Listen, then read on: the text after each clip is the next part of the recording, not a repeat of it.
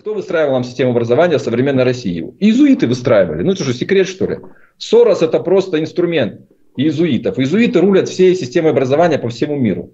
Отец, такой волк, вот такие клыки, все в жизни вырвал собственными зубами. Харизматичный, мощный тип такой, герой. И смотришь его детей.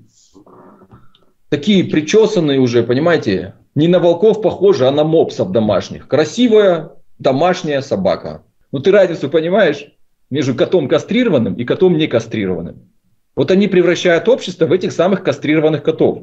Если вы видите в человеке эго, это не брахман. Это просто умный дядя, хороший, замечательный. Когда он думает в первую очередь о себе. Понимаете, эго это про себя всегда. Все, что тайное, друзья мои, все от дьявола. Потому что у Бога тайн нету. у него все открыто. Главный признак этих всех вайши, они трусливы. У них страха много. Поэтому от того, что у них страха много, они пытаются все нагребти, как хомяки, понимаете? У них же страх, что они все потеряют. Они живут в страхе. Армия Ватикана – это итальянская мафия. А был Джованни Бугатти. Папа принимал решение. Джованни Бугатти брал топор, отрубал человеку голову. Это жреческая власть, теократия. Где у нас люди, которые горизонт планирования 50 лет? Где эти люди? Вот когда они появятся, первое, чем они займутся, это искусством, культурой и образованием. Либо, либо тебя Кобзон пустит туда, либо Пугачева должна пустить. И они решали, принимали лица, принимающие решения, кому быть звездой в стране. А что такое быть звездой? Это нести массам, а особенно молодежи, определенные смыслы. Совершенно ответственно заявляю, что музыка – это самый сильный способ управления сознанием, в том числе и массовым. На полях СВО что происходит? Уничтожение пассионарной части славянского этноса. Ну, не только славянского, больше российского и в том числе украинского. Потому что я не разделяю Россию и Украину. Для меня это все равно один народ, одна территория. Это искра нужна. Искра внутри, человеке, огонь. С детьми работает, тот работает с будущим. Все очень просто. Вот кто работает с детьми? Посмотрите в мире. Вот они работают с будущим. Это изуиты. Изуиты работают с этим всем.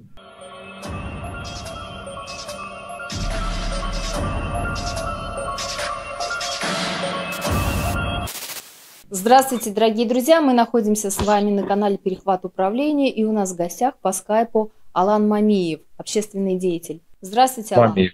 Очень приятно. Приветствую вас, подписчики канала «Перехват управления». Да, мы канал молодой достаточно, но достаточно быстро набираем свою аудиторию, потому что стараемся говорить правду. Ну, по крайней мере, как мы ее видим, как наши гости ее видят. Алан, тогда давайте начнем с вами э, вопрос – как вы видите образ будущего? Что вы хотите непосредственно построить? Как вы это ну, вот, представляете себе? Ну и у меня сразу много вопросов. Вы можете выбрать любой. А, почему люди, умудрые люди, хотящие, в принципе, одного и того же, не могут объединиться? Ну, вы знаете, вот Бог объединяет, а дьявол разъединяет. И вот этот дьявол, он всегда вот этих кроется мелочах, которые человечество разъединяет. Нет единого понимания, чего мы все хотим. То есть, как в среднем, как бы за все хорошее против всего плохого, и тут начинаются нюансы после этого, через запятую. Да? Каждый свое хорошее представляет по-своему, исходя из его мировоззрения, которое у человека уже обычно сложилось. И люди зачастую не хотят слышать других людей, не хотят просто навязать свою картину мира навязать ее. Тут включается эго одного человека и другого, и пошли уже противоречия. И, соответственно, о каком союзе в таких вещах может быть речь, общей направленности, да, потому что исторические процессы, как сказать, ими движут такие железные когорты, да, вот мы перед началом эфира говорили вам с вами там про большевиков, про советский проект, но это же была такая монолитная структура была, да, Ленин смог создать там Сталин и все вот эти вот первые большевики, они создали эти железные когорты, спаянные чем? Они были спаяны общей целью. Понимаете? Единой идеей некой. Они горели некой идеей. И готовы были за эту идею класть свои жизни. Да? То есть они же фактически посвятили себя этой идее. Да? Они не были хорошими семьянинами, как показала история. Они там зачастую у них были проблемы в личной жизни, а это естественный ход событий. Если ты посвящаешь себя обществу, то, соответственно, все остальные вещи, связанные с маленькими человеческими радостями, отходят на второй план то сейчас победила концепция вот этих маленьких человеческих радостей. И человек хочет из зоны комфорта совершать исторические процессы. Вот я сейчас, мы давайте чуть-чуть исторические процессы, а там у меня уже в холодильнике пивко остывает, и друзья уже ждут. Понимаете, там уже дальше мы будем мыслить, концептуально размышлять в пивбаре соседнем, попивая хорошее пиво. Но так же это не бывает. Понимаете? И вот этот дух жертвенности у этих мудрецов пропал куда-то. А это же жертва. Но ну, Если это тогда ты хочешь не... начать что-то большое, приходится приносить себя в жертву. Это тогда Примеры не мудрецы, потому что вы описываете на самом деле эгоистов. Ну, эго – это болезнь современного общества. Вы понимаете, наша цивилизация выстроена на этом самом эго. На эго, где частное выше общего. Где каждый все равно в первую очередь думает о себе, о своих там максимум близких, там, не знаю, даже родственниках, даже родоплеменные отношения разрушены, если брать большие, да, там уже дяди, тети, двоюродные, троюродные уже из поля вашего внимания выпадают. А вас интересуют максимум ваши дети, ну там коты, собаки, то есть то, с чем вы там на одной жилплощади обитаетесь. С соседями люди не общаются, понимаете? Вот я вот, меня поражает, вот в Осетию сейчас часто приезжают гости, у нас туризм развивает, и всех поражает вот это, что у нас с людьми просто даже в подъездах здороваются. Вот квартиры снимают посуточно, бывает, да, и вот они удивляются, почему с ними людьми, люди здороваются. Мы же их не знаем, но мы с ними здороваемся, им там двери дети откроют, да, там сумку помогут поднести, хотя первый раз их видят, они тут туристы. Это не потому, что они там туристы, а потому, что у нас еще это не потеряно. Понимаете, привычки этого общежития. Соответственно, общее выше частного, оно воспитывается с детства, оно тут с детства разрушено. Эго взрощено, эго. И эго является болезнью главной. А оно потом уже накладывается на все, что угодно, этот эгоизм. Пусть он будет мудрый эгоизм, пусть он будет не мудрый, то все равно будет эгоизм. И в этом проблема, понимаете? Никто не хочет приносить себя в жертву какому-то делу. Но даже Иисус так пример привел, почему он же мог избежать этой казни. Но он хотел, чтобы этот импульс был задан. Даже сам процесс творения Вселенной, Вселенной, когда взорвалось нечто непонятное до сих пор науки, но это нечто породило все, что мы видим вокруг. Вот все, что мы видим вокруг, это результат этого первого, первой жертвы. Алан, вы правда думаете, что э, взрывы можно что-то породить? Взрыв, он всегда разрушающий. С чего вы так решили? Почему он разрушающий? Он преобразующий. Понимаете, преобразующий. Иисус Христос в свое время совершил духовную революцию. Он духовную революцию совершил. Переворот сознания людей того времени. И этого хватило на пару тысяч лет еще. Христианская цивилизация, в которой мы все живем, по крайней мере, европейская ее часть. Но изначально это же была жертва. Они клали себя на алтарь некой победы. А что такое была победа во Второй мировой войне? Это вот был на алтарь победы положенный сознательно совершенно. Подвиги были сознательные. Они себя клали в жертву. И тогда эта энергия есть, понимаете, это вот страсть есть, и она рождает исторический процесс. Вот. А, скажите, сейчас есть такие люди? Я их не вижу. Вот что я буду врать? Есть умные, но мало разумных. Ум это логика, разум это не какая такое интуиция, правополушарная больше, да, история. Умных много, разумных мало. Пассионарность стравливают. Каким образом? Ну вот мы сейчас видим, на полях СВО что происходит? Уничтожение пассионарной части славянского этноса. Ну, не только славянского, больше российского и в том числе украинского. Потому что я не разделяю Россию и Украину. Для меня это все равно один народ, одна территория, это все вот наши земли. У нас идет там гражданская война, в которой уничтожается пассионарная часть нашей молодежи. Ну, не только молодежи, взрослых людей. Понимаете, тех самых пассионариев, тех самых людей, предрасположенных к этой жертвенности – а их можно было обучить и направить их энергию в какие-то другие отрасли, да. Другая часть пассионарная, интеллектуальная, там айтишники все, над которыми так смеются, они сейчас поднимают экономики других государств. Там IT-сектор той же США, ну, ну, слушайте, ну процентов 60-70 это выходцы из Советского Союза бывшие. То есть это наши потерянные нами же головы. Молодых ребят, которым мы не смогли предложить здесь самореализацию. Ведь чего хочет человек? Давайте начнем с этого. Он хочет в жизни самореализоваться. Понимаете, в той отрасли, которая близка его сердцу. Один хочет самореализоваться, там, программы компьютер написать, другой хочет самореализоваться в науке, третий, там, не знаю, в спорте, он хочет самореализоваться. Вот он пришел в эту жизнь, чтобы сделать в ней что-то. И вот то общество побеждает, которое условия этим молодым людям создает для этой самореализации. Понимаете? Не давит их при первой же возможности, не пытается из них кирпичи всех сделать. Вот в чем проблема? Вот я очень сейчас изучаю влияние музыки на сознание людей. И я совершенно ответственно заявляю, что музыка – это самый сильный способ управления сознанием, в том числе и массовым. И у меня много друзей из этой музыкальной сферы. И им, когда с ним на эти темы разговариваю, они начинают понимать, о чем я говорю. Хотя, как бы изначально им такие мысли в голову не приходили. Мы сейчас уже это все изучаем вместе. Он говорит, ты говорит, понимаешь, даже, даже на уровне музыкальных училищ, говорит, талант что делают? Но приходит талантливый ребенок, глина. С этой глины же, говорит, можно сделать все, что угодно. Можно сделать кувшин, можно сделать какую-нибудь вазу, можно какую-нибудь статую сделать. А знаешь, говорит, что ламп делают? Кирпичи делают. Одинаковые, отформатированные кирпичи. Они способны петь в хоре, открывать рот. Они способны там, не знаю, на скрипе что-нибудь пиликать. Но они не способны написать серьезную симфонию или серьезную музыку. Они не способны. Потому что это творческое начало, а это всегда нечто такое, знаете, пышущая энергия, его и вдохновением. Кастрируют. Кастрируют его. И вот я моим этим другом, музыкантом, вчера как раз разговаривал. Вам тоже будет интересно. И вот там хор, мужской хор. И там дирижирует, там, смотрим, в телевизоре мне показывает, там, женщина-дирижер и мужской хор. И он мне говорит, Алан, ты знаешь, вот хорошо ж поют, но что-то, говорит, что-то там не то. Я говорю, а знаешь, что там не то, дружище? Вот, говорю, представь, есть тигры. Они вот рычат, у них тестостерон, а есть кастрированные коты. Они тоже могут петь. У них тоже есть голос, они тоже мяукают. Но ты разницу понимаешь между котом кастрированным и котом не кастрированным? Вот они превращают общество в этих самых кастрированных котов. И почему я, вот у меня знакомая однажды тоже, это почему про котов у меня этот пример, он засел у меня. Хорошая женщина, там, близкий друг, товарищ. И у нее кот, чудесный кот, все такое, здоровый, и она, я прихожу в гости, мы приходим, она говорит, я говорит, хочу его кастрировать. Я говорю, зачем? Вот зачем? Ой, он куда-то ходит, он где-то пропадает, а я за него переживаю. А так, говорит, я его кастрирую, будет постоянно дома, я его буду гладить, такой хороший, весь домашний будет. И я же сижу, и я понимаю, что это, на этом маленьком примере мне Вселенная показала фундаментальную проблему нашего общества. Для того, чтобы сделать этого кота удобней, она его кастрировала в конечном итоге. Понимаете? Забрав у него это творческое начало. Вот так построена система образования в нашей стране. Они их кастрируют. И потом хотят, чтобы эти кастрированные коты показывали какие-то чудеса. А так не бывает. Понимаете? Так не бывает. И, соответственно, такие же кастрированные коты, только в интеллектуальном сообществе, понимаете?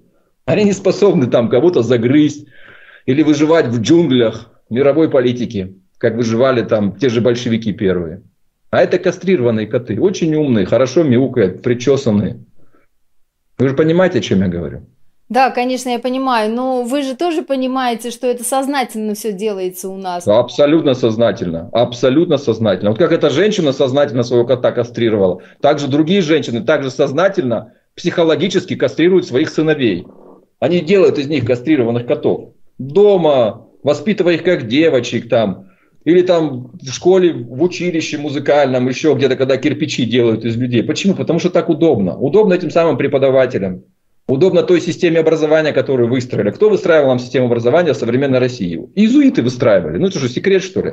Сорос это просто инструмент иезуитов. Иезуиты рулят всей системой образования по всему миру.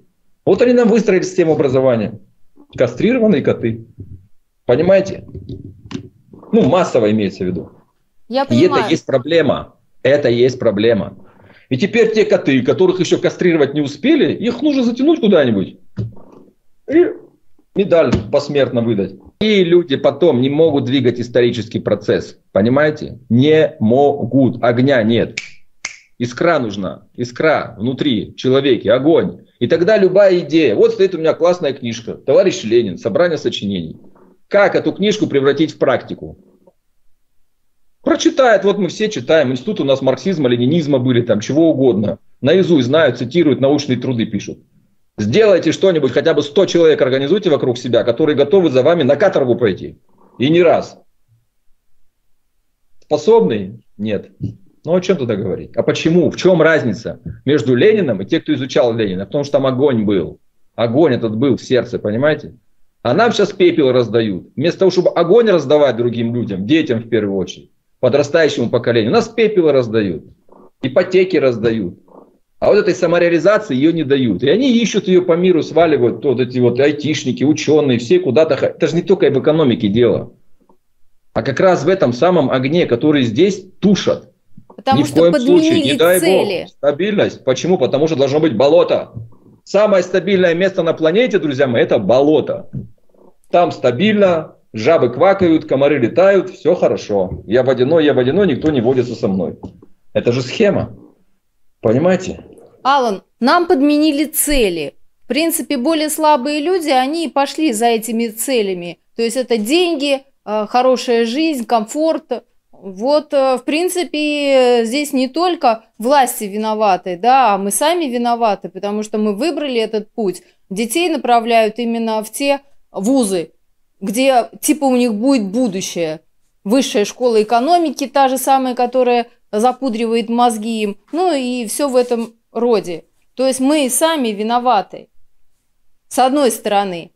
Власть, конечно, то же самое есть, работает. Есть труд производительный, есть труд управленческий. Да, вот два фундаментальных есть труда. Одни те, кто своими руками непосредственно что-то делают, изобретают, там, ну, делают все, что своими руками. А есть те, кто управляет отдельный тип труда, управленческий труд.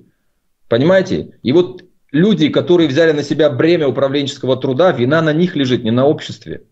Понимаете? Если брать на уровне культуры и смотреть поздний советский кинематограф, это тогда все началось образ муж, русского мужика, алкоголика и пьяницы. Понимаете, вспомните гайдаевские фильмы, рязановские фильмы. На уровне этих всех шутеек и всего прочего закладывались алгоритмы в сознание. В сознание закладывались, понимаете? Самый мерзкий фильм, который я знаю, вот, который у нас на каждый год новый, в Новый год показывают, «Ирония судьбы» или «С легким паром». Это самое мерзкое кино, которое я в своей жизни видел. Почему? Потому что там закладывались ложные алгоритмы в сознание советского народа, понимаете, массовое когда алкоголиком быть нормально, когда вот таким вот лапухом, как его еще назвать, культурным словом назвать, это же не мужчина, типичный кастрированный кот. И из него сделали героя, этот персонаж Мягкова который. Они его талантливо сыграли, талантливо сняли, но замысел-то какой? И это вкладывается в сознание. И вы же потом, как человек начинает каким-то образом себя вести. Вы же себя ведете каким-то образом не потому, что вы так решили, а потому что, начиная с вашего рождения, вам в голову вкладывают разные программы в виде идей в книжках, в виде фильмов, в виде музыкальных каких-то произведений. Все это вместе формирует ваше сознание и мировоззрение. И на выходе вы уже начинаете, опираясь на это мировоззрение, что-то делать. Вот тот, кто вкладывает в программы, вот тот и виноват в том, что сейчас происходит. Началось это в годах 60-х. Со Стругацких и дальше все по списку. Понимаете? И сейчас говорите, это там виноваты какие-то за жвачку продали. А кто им вложил в голову ценность этой самой жвачки? Они бы знать про нее не знали бы ничего. Это же вкладывалось с помощью советского кинематографа. Преклонение перед Западом. Это же тогда началось. Посмотрите все фильмы советские 70-х, начала 80-х годов. Поломанная судьба, пьяницы, бог знает кто еще. Сталинские фильмы посмотрите. Герои труда, рабочий класс, все, никакого бухлана, ничего такого не было. И как это все сломалось? Я просто пересматривал советский фильм, думал, когда этот излом произошел, вот где? Вот где? Смотрю фильм «Дело было в Пенькове». Прекрасное советское кино. Тихо все. Но сюжет заключается в чем? Что хороший русский мужик, работящий. У него прекрасная русская красивая жена. И он, или Быстрицкая, да, по-моему, играла ее. Такая красивая женщина. И тут приезжает какая-то плюгавая, непонятно кучерявая барышня, понимаете? С усами там, с высшим образованием зато. Агроном или кто он там была. И он от этой женщины уходит к ней, еще по дороге там совершает какие-то преступления. Это что вы там нам хотели сказать этим фильмом?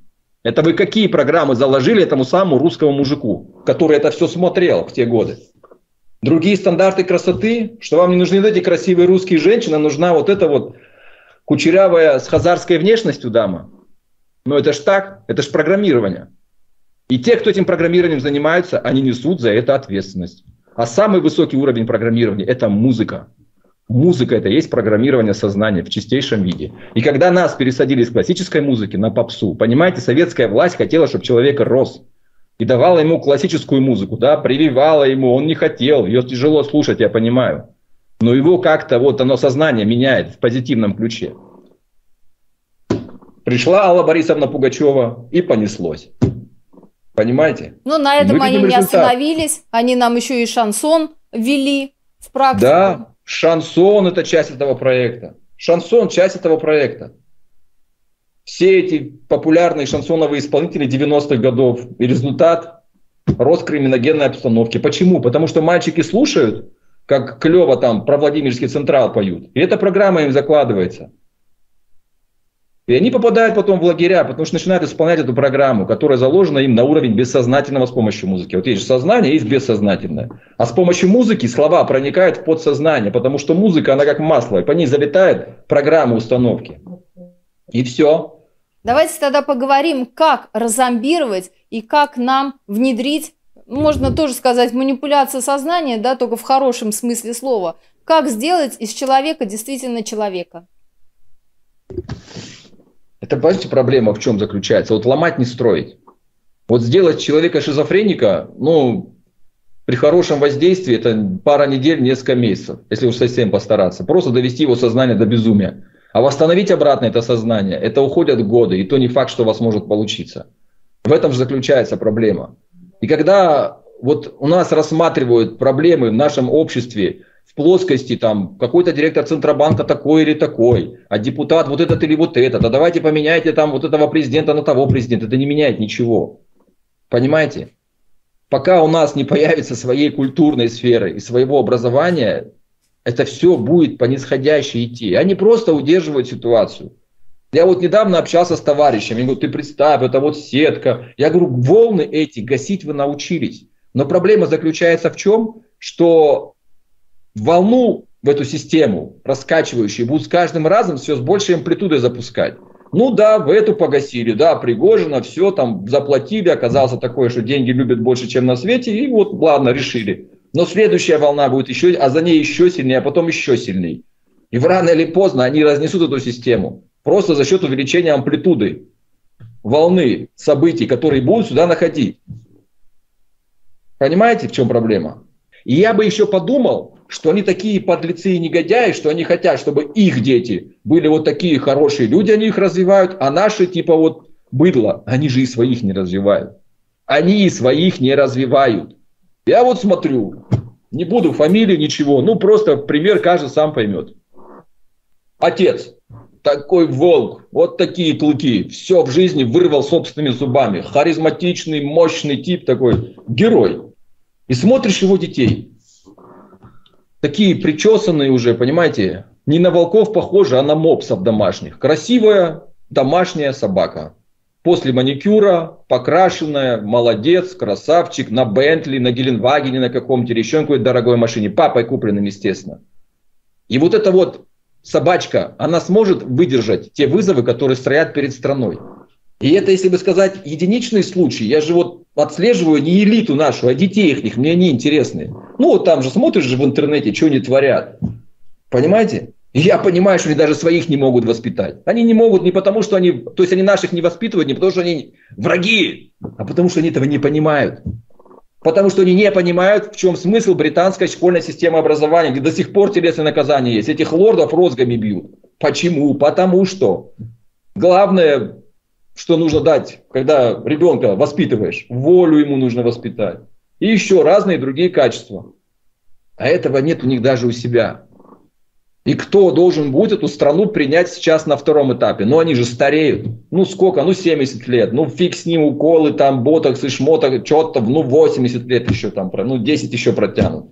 Но качество управленческих решений падает из-за того, что мозг разрушается. Ну, это есть объективные обстоятельства какие-то есть, понимаете? Мудрствовать лукаво там можно, книжки писать, философствовать, а жить в активном режиме, принимать сложные решения, мир, война, там, туда-сюда, это уже сложно. А кто там стоит? Они же хотят своим детям, они же не хотят нам с вами. Нас вообще не рассматривают в качестве какой-то там кадровой базы. Детям своим. Ну хорошо, детям. А покажите ваших детей. Ну покажите их. Ну просто, чтобы мы тоже увидели. Ну, вот из того, что я видел, ну, где у этого саблезубого тигра хотя бы у одного маленький саблезубый сынок такой же. А для того, чтобы я, у меня товарищ есть, ему очень обидно это было, но он понимает, что я прав. Он говорит, а что, говорит, я должен был делать? Я сделал все, чтобы мои дети не видели того, чего видел я. Я говорю, а вот в этом главная загвоздка – в том, что ты стал таким, это твои проблемы, которые ты преодолевал. Лишив его возможности преодолевать эти проблемы, ты сделал его что? Безвольным, слабым человеком. Из благих побуждений. История про кого? Про кастрированных котов.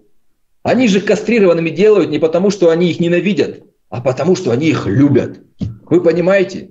Она мне говорит, я его кастрирую, ты что думаешь, я его ненавижу? Она вот такой маленький был, она его пипеткой выкормила, понимаете? Потому что, говорит, я его люблю. Я люблю своего ребенка и сделаю все, чтобы он не видел в жизни проблем. И с этого самого момента этот ребенок превращается в мопса из волка. Был волчонок, а стал мопс. Вырос. Красивый, все. На поводке водить можно, пока мама с папой живы. И вот сейчас мы живем в этом стыке эпох. И кто эти вызовы будет вывозить в стране? Вот кто? Ну просто покажите этих людей, мы же не против. Сейчас у нас будут выборы. Вот это телеграм, у меня же телеграм-канал есть. Подписывайтесь, Алан Мамбиев, очень интересно. И сейчас телеграмма, главная тема обсуждения выбора 24 года. И мне скидывают это, то, репост, не это. Поддержите типа эту движуху. А я одному своему другу звоню, говорю, слушай, а зачем вообще, ну, я говорю, кто-то из вас всерьез считает, что Владимир Владимирович проиграет выборы? Я говорю, а кому? Зюганову он их проиграет? Ну, кому? Тут вообще просто бред. Какие выборы? Все давно, уже всех давно выбрали. Вы зачем об этом даже говорите? Вы что, отводите внимание общественное от серьезных проблем? Вот пацаны гибнут, каждый день там тела привозят, хороним в Осетии. Как из этой стратегической ловушки вы этот, выруливать? Вот теперь у них проблема выбора 24 года. Я говорю, кого надо, того и выберут. Кого надо, того и выберут. Не это проблема. А проблема, вот мы говорим про будущее. Заседание какое-то в ООН было, приехала представитель китайской делегации, и типа вот там, вы можете что-нибудь там сказать? Она вы говорит, понимаете, у нас говорит, минимальный горизонт планирования считается два поколения, 50 лет. А вообще как бы мы планируем на 100 лет. А вы тут планируете на ближайшие 10 лет, нам дальше с вами о чем вы сами говорите, у нас уже все спланировано на это время. Где у нас люди, которые горизонт планирования 50 лет? Где эти люди? Вот когда они появятся, первое, чем они займутся, это искусством, культурой и образованием. Чем занялись большевики, когда пришли? Образованием, культурой, кинематограф. Главнейшим видом для нас из искусства является кино. Почему кино? Потому что он понял воздействие на массовое сознание кинематографа, что можно взять и художественное произведение привести куда-нибудь в отдаленную деревню и показать что-то. Театр ты не можешь так таскать, а кино можно. Потому что он увидел, это инструмент управления сознанием. Ленин в этом увидел. Не потому что ему кино понравилось. Инструмент увидел.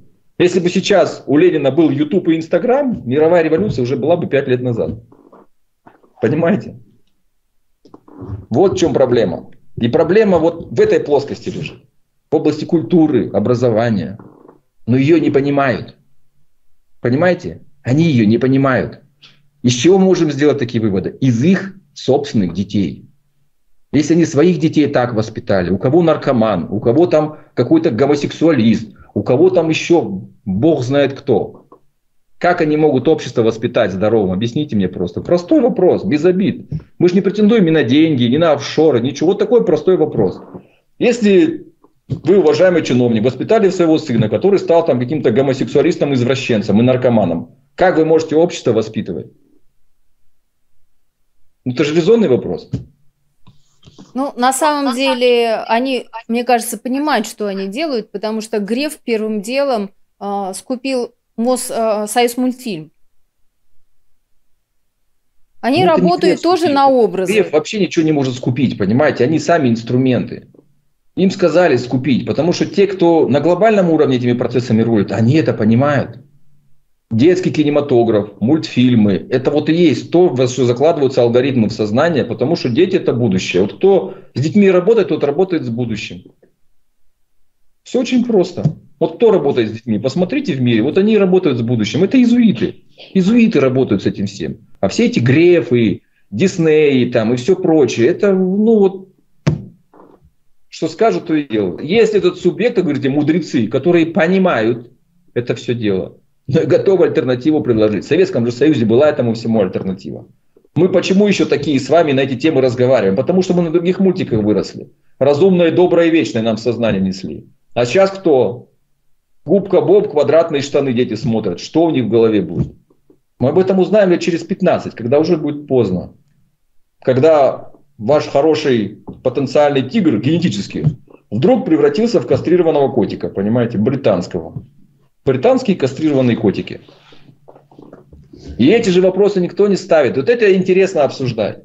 Это интересно. А все остальное, ну, можно тактику. Да, ну, давайте обсудим бои под Бахмутом, понимаете. Очередной там, один сарай сдали, другой отдали. Там. Ну, вот это можно жевать до бесконечности.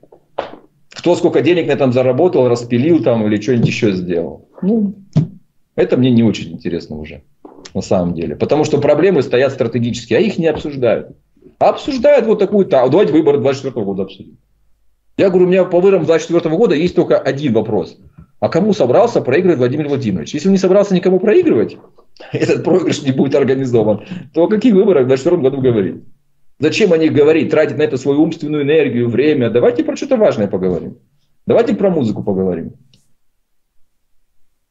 Музыку писать надо, а не говорить. Да, а чтобы писать музыку, нужно появиться те, кто должен писать. И тем, кто должен писать, нужно вложить сначала мировоззрение, должны вырасти эти люди. Понимаете, их скормить нужно. Из него в музыкальной школе ли учились, и не кирпич нужно сделать. А оставить, чтобы он остался какой-то вазой прекрасной. И потом уже дальше транслировал. Этого же нет. Как наши соседи по континенту африканскому захватили США? Вот как они захватили? Они с чего начали? Как вы думаете? Они же не с экономики начали. Начали с музыки под названием джаз. Все началось с джаза, перетекло в хип-хоп, а закончилось президентом Обамой. Майкл Джексон, прошу вас заметить, красивый негритянский африка, афроамериканский мальчик был. И он умер от чего? От того, что он сделал очень много пластических операций, и он пытался стать белым. Он очень менял свою внешность, чтобы быть как бы европеоидным. Нос там, ну все. Из-за этого как бы вот он умер в конечном итоге. То сейчас белые пытаются быть афроамериканцами. Женщины качают вот такие губы, как у негритянок. Это откуда они моду взяли? Это вот они у них взяли. Танцуют под их песни, носят их одежду и пытаются выглядеть как афроамериканцы. И считают, что это круто. И они даже не понимают, что им сознание уже деформировали. Понимаете? И когда в стране нету структур, которые это хотя бы могут отслеживать, потому что это даже влияет и на их детей в том числе. А им приятно, что их дети начинают косить под афроамериканцев? Ну, дай бог. Здоровья им. Я просто хотела предложить, может быть, есть какая-то возможность повлиять на умы вот этих вот э, тигров, которые еще остались настоящих, да, чтобы они вот поняли, что они творят. Может быть, они изменят и начнем уже э, распрограммировать все это в правильном русле. Как это сделать? Ну, скажите мне, что для этого нужно сделать. Ну, вот что мне нужно для этого сделать? Я готов. Тиграх. Я, готов. я готов с кем угодно вести дискуссию по этому поводу. Я готов с кем угодно по этой теме общаться. Но проблема, знаете, в чем проблема заключается самая большая? В том, что человеку нужно будет признать свою ошибку. А это самое тяжелое. Понимаете? И когда они смотрят на своих детей, поверьте мне, они это понимают. Прекрасно понимают. Потому что их это тоже раздражает.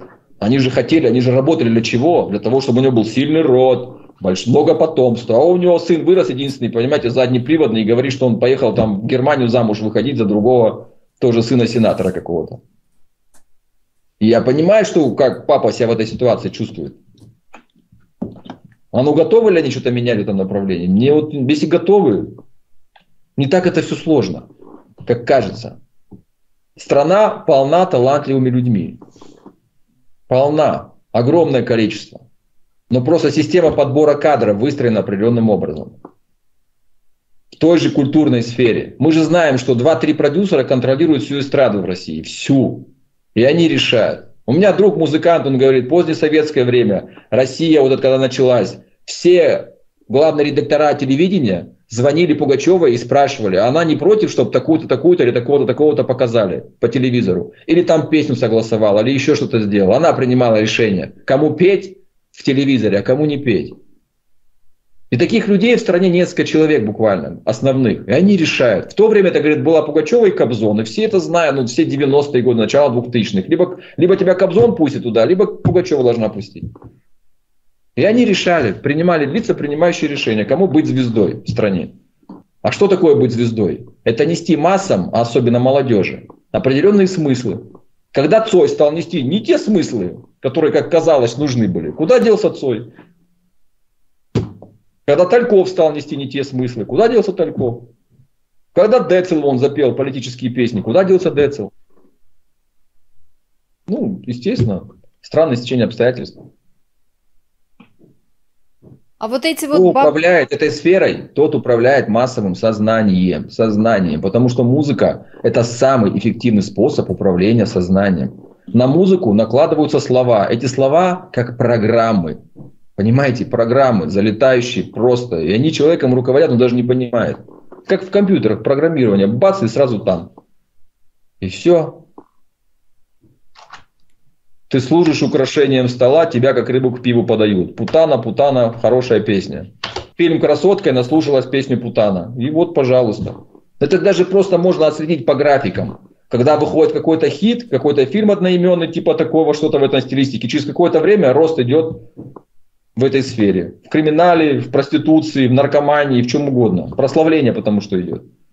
И пока в стране не появятся фильтры на всех этих позициях, и люди понимающие говорят, ты, друг, что ты делаешь? Есть один супер популярный рэп-исполнитель. И вот, ну, не буду говорить, чтобы потом никому обидно не было. И вот с моим другом музыкантом обсуждаем, я говорю, слушай, я ни одну песню до конца не могу дослушать. От него полмира с ума сходит. Ну, там вот молодежь, все нравится. Он говорит, Алан, знаешь, говорит, почему? Почему? Ты, говорит, наверное, Ашу не куришь? Я говорю, нет. А ты, говорит, покуришь? Говорит, ты, говорит, поймешь, о чем эта песня. Ее, говорит, по-другому, она, говорит, пишется в таком состоянии. Ну и слушается, соответственно, тоже. Хотя бы должны быть люди, которые это понимают. И говорят, нет, нам это не надо. Вот есть в компьютер попадает вирус. Но у вас же стоит в компьютере антивирус.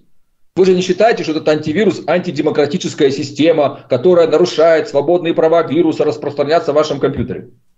Вы же так не думаете?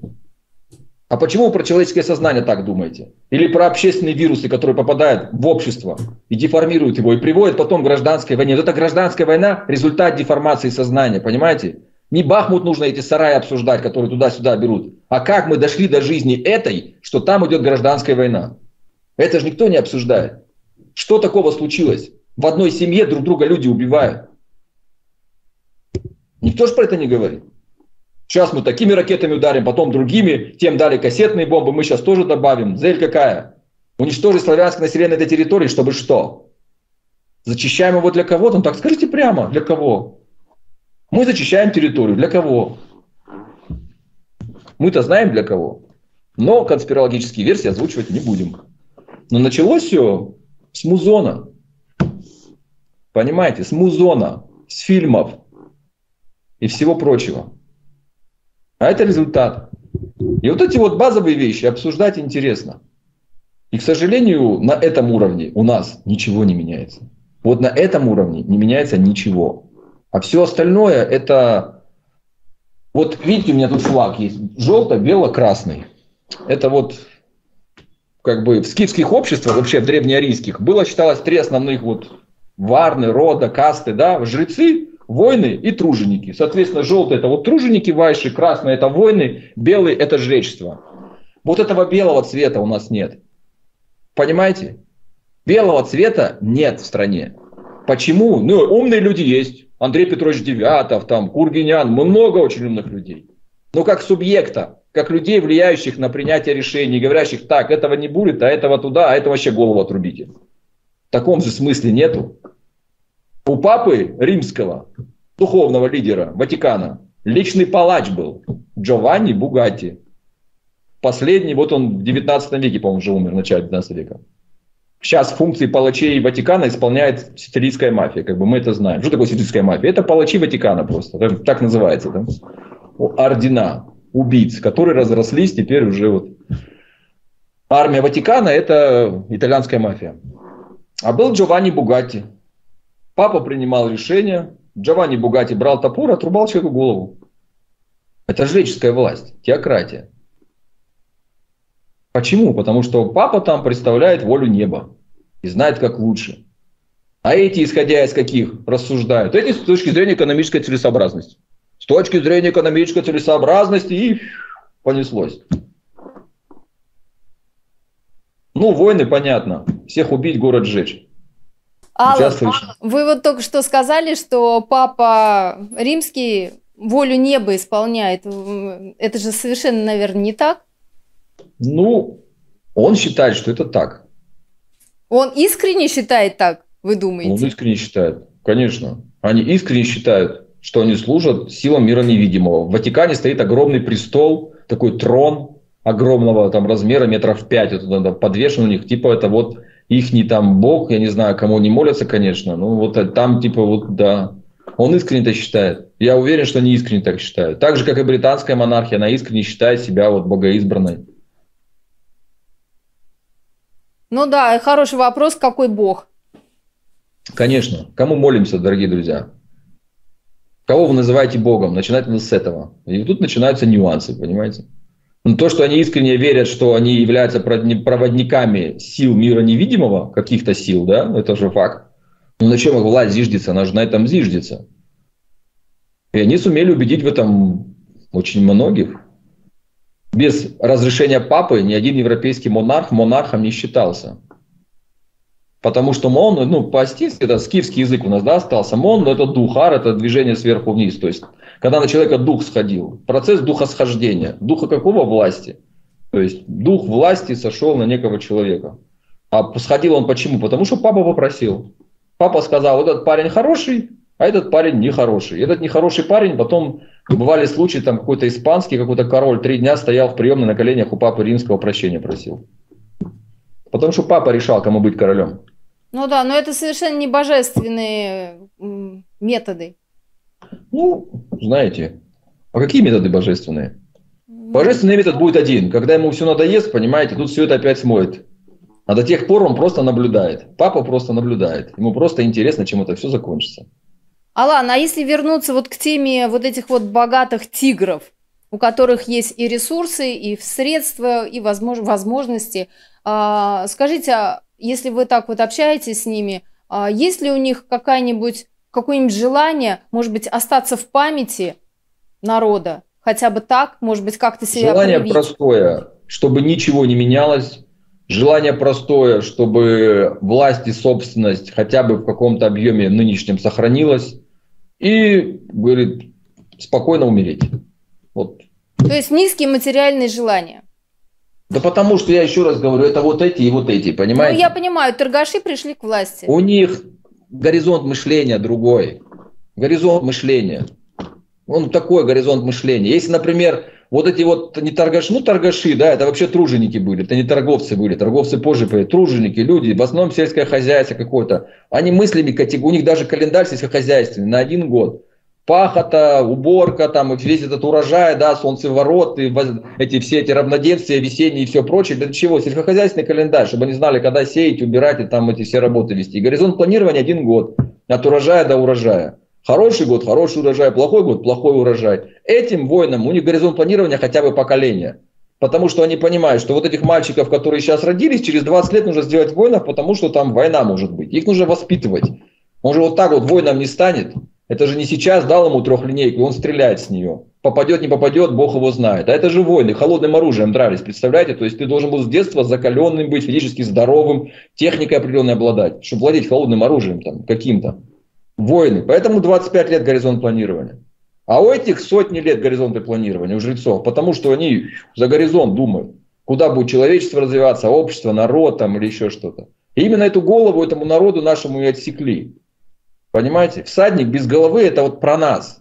Сказка про нас. Всадник без головы.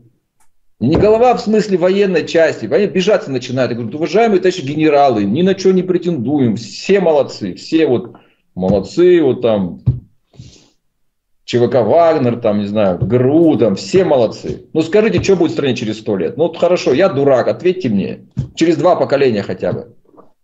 Потому что закладки под то, что будет через 50 лет, нужно делать уже сейчас. Ну, я не согласна с вами, что все-таки у нас кшатриев нету. То есть я имею в виду... А, не, как жрецов. нету? Они есть. Жрецов Кшатрии я имею как раз и рулят. Брахманов, брахманов, жрецов. Ну, слушайте, они Возможно, есть. они не проявлены. Мы говорим как то субъект. Вот субъект. Понимаете? Ну, это другой субъект. вопрос уже. Конечно, ресурсов у как них люди влиять конечно, нет. есть. Ну, как люди, конечно, есть. Ну, как люди есть, ученые, хорошие, там разные. Но на что они влияют? На что они влияют? Где они в повестке, где они там за культурой следят или все остальное? Рычаги воздействия на это все дело. Ну, обязательно тогда войны должны помогать. Конечно. Но войны должны поверить им. Эта же проблема заключается в чем? Вот она описана еще в древних ведических текстах, этих индийских, да, там, когда брахманы деградируют, что же деградируют? Перестают трактовать волю неба, слышать ее.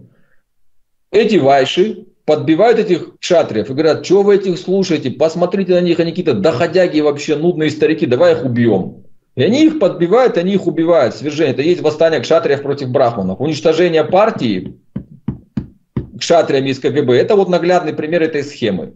На втором ходу кшатрии, это все-таки кшатрии специфическая публика, понимаете, начинают их стравливать друг с другом. Все, что происходило в наши 90-е годы, это вот результат войны кшатриев друг с другом, убийства бесконечные бесконечные. И на выходе что у нас было? Семибанкирщина, власть торговцев. Но эта схеме уже 5000 лет. Она описана еще, вон, не знаю, в Махабхарате была. Когда брахманов убирали, кшатрии грызлись между собой, а на втором ходу всегда вайши берут власть. Крушение Византии – та же самая схема. Крушение СССР – та же самая схема. То есть таким образом мы и сможем вот эту вот э, власть и построить, да? Находим мудрецов, которые между собой могут договориться. Э, которые поверят. Которые военные. Люди с мечом должны поверить, понимаете? Что это не, очередные пришли разводяги. Сейчас он сидит там в очках каких-то, понимаете, на резиночке, типа нищеброд. Только возможности появляются, он на Бентли пересаживается. И его эго его пожирает. Главный признак жречества – это отсутствие эго, друзья мои. Если вы видите в человеке эго, это не брахман. Это просто умный дядя, хороший, замечательный. Когда он думает в первую очередь о себе. Понимаете, эго это про себя всегда. Про себя, о себе любимом, дорогом. Вот пока эго есть, и что делали в православных монастырях, в любых монастырях, в любых духовных практиках? Первое, что должен обрести смирение. Смирение перед кем? Перед духом. Понимаете? И в себе это эго убрать. А когда ты его убираешь себе, ты становишься проводником этих неких сил. Да? У вас в голове какой-то включается этот Wi-Fi, и вы начинаете слышать мир невидимый. Вот я стихи пишу, поэмы огромные. Ночью сплю и стихи записываю во сне на разные темы. Это, это вдохновение. Про... Да, трансляции, вдохновение, поток. И вот когда появятся эти товарищи, и когда эти кшатри им поверят, тут все это быстро на место встанет. Там народ талантливый народ талантливый. На этих уважаемых вайшей просто загнать им в рамки. Я же с этими кшатрами разговаривал. Говорю, друзья мои, очень просто. Ты ничего не разбираешься в экономике. Как, моро, как матрос с ружьем в свое время. Ну просто встань рядом и держи в руках меч над головой этого товарища. Только что-то он сделал криво, голова с плеч. Все очень просто. Они очень трусливы. Они очень трусливы. Главный признак этих всех вайшей, они трусливы. У них страха много. Поэтому от того, что у них страха много, они пытаются все нагребти, как хомяки, понимаете? У них же страх, что они все потеряют. Они живут в страхе. Я вот знал этих очень богатых людей. Главная эмоция, которую они испытывают, это страх. Страх, страх. Куда вложить? Во что вложить? А в бриллианты? А может в роликсы? А, а в биткоины? А еще, а я потеряю? А потом страх. Начинает нужно компенсировать. Пошел вискарь, понимаете, там, кокаин, еще что-нибудь. Страх, спать человек не может. И чем больше денег, тем больше страха, и тем он спать перестает вообще. Страх. Но, но это У самоуничтожение. А? Это самоуничтожение. А он даже этого не понимает. Его программа, его программа, заложена в его сознании, делать материальные блага. Вот он делает столы хорошие, их стали покупать. И вдруг эти за столы он стал долларовый миллионер. А что с этим миллионером? Он делает, он столы любит делать. У него появились миллионы. Тут следующая проблема. А как теперь сделать так, чтобы эти деньги не потерять? И вот тут начинается все только эта мысль закралась в голову, этот страх. Это страх. Маленькая такая идея, страх. Она потом разрастается, поражает сознание и все. И доводит до патологии. Чего они эти деньги перли в эти офшоры свои? Это же со страха все. Потому что эти придут и отберут. Алан, страх. Но получается, что страх, вот эта вот жадность, ненасытность, это же получается, что они психически больны все. И чем, и чем выше, тем эти патологии сильнее. Естественно. Это вырождается потом в страшные патологии. И редко кто из них, этих я людей встретил, который легко, как сказать, я знал человека, который два или три раза в жизни полностью разорился. И он это делал вообще налегке. Говорит, да мне без разницы. Ну да, я упал, я сейчас опять поднимусь. И к этому так относятся, но их же меньшинство. А остальные страх напихать бабки куда-то, еще чего-то. Почему? Потому что будущего боятся. Потому что вот сегодня столы перестанут покупать, я стану нищий, а мне вот яхта нужна, жена молодая, а еще вот это, а то, давай в Лондоне, там, туда напихай. Я говорю, слушай, заберут тебя в этом Лондоне. Ты что, там все по закону. Это же, говорит, не то, что здесь пришла братва и отобрала в 90-е годы. А сейчас вот там, говорит, в Лондоне все по закону. Я говорю, что, друг, сейчас все забрали, все забрали, дом забрали, все арестовали. Только потому, что россиянин. Ну, Понимаете? потому что страхи сбываются. Конечно, да не поэтому, я говорю, так ты бы тут бы построил бы какие-то заводы, понимаешь, или там деревню бы себе построил. Я говорю, столько было денег, ты мог целую деревню построить и поселить в эту деревню всех своих родственников, понимаешь, вот как вот делают некоторые кавказские лидеры, да, поселил туда всех своих родственников, они тебе по гроб жизни благодарны, они же тебя и охранять будут, и помидоры тебе будут свежие, и вообще и хорошо, и все родные, и близкие, и горы, и красиво. Зачем тебе этот Лондон нужен? Лондон надо. Ну вот. Может быть, сейчас хотя бы этим тиграм кинуть такую идею? Страх сильнее. И опять должны люди, кому бы они прислушивались. Понимаете, у меня вот какая аудитория, сколько вас там, несколько тысяч человек посмотрит наше видео. Понимаете, мы же не Владимир Соловьев, чтобы нас там на эти темы миллионы смотрело. А миллионам рассказывают про Бахмут, понимаете, будут сейчас про какие-нибудь беспилотники опять рассказывать бесконечные. Что вы им про беспилотники рассказываете? Зачем бабушки про беспилотники эти знать? Что она может в этом деле помочь? Вы должны людям рассказывать то, чем они могут изменить себя. Вот она себя, бабушка, может помочь себе в своей жизни вот так-то, так-то. Что ты ей про беспилотники рассказываешь? Она что, должна новый беспилотник придумать, что ли? Или ты хочешь с нее деньги на жалости, как сказать, чтобы она там за свои пенсии тебе тысячу рублей прислала? Ну ты бессовестный человек в таком случае. Вот когда сейчас эти дела подняли по этим военкорам, что там миллионы пособирали, так пусть их публично расстреляют за это мерзавцы. Если это на самом деле правда, вот то, что сейчас пишут, да, там, там собрали сотни миллионов и по карманам распихали у себя. У этих самых бабушек. Они же тут патология, они же страхом торговали. А, беспилотники там, это, это, это, это, и бабки на карман. Не все единицы, конечно, вот сейчас следствие идет. Мы сейчас все внимательно за этим следим. Но это же образец этого всего. Зачем вы народ баламутите этими историями? Соберите молодежь, поставьте перед ней задачи. Просто поставьте перед ними задачи и не ограничивайте их творческое мышление никак. Уберите всех пенсионеров и людей старше 40 лет из IT-сферы. Просто уберите, вы уважаемые, молодцы, не суйте туда свой нос. Вот просто не надо. Но мы с них будем спрашивать за результат. А вот там стоят кшатрии. Можно с мечом, можно с кнутом, с чем угодно. Как бы задавать рамки. Должны быть заданы рамки. Ребята, вот это должно быть создано. Не будет, ну, пеняйте на себя.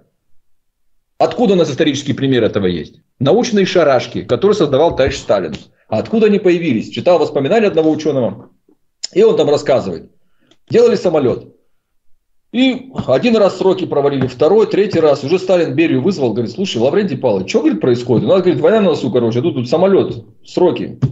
Он говорит, вы знаете, товарищ Сталин, у этого, говорит, генерального конструктора, у него, говорит, жена, говорит, такая, говорит, сварливая женщина, говорит, и мозги ему делает. А у него, говорит, на работе еще любовница есть вместо этой жены. А тут, говорит, он себе еще третью, говорит, любовницу завел. То есть вторую любовницу, третью жен, женщину себе завел. И, говорит, ему некогда, говорит, про самолеты думать. Он говорит, между этими тремя бабами, говорит, вот так вот и крутится. Он говорит, я, говорит, понял вас, говорит, Лаврентий.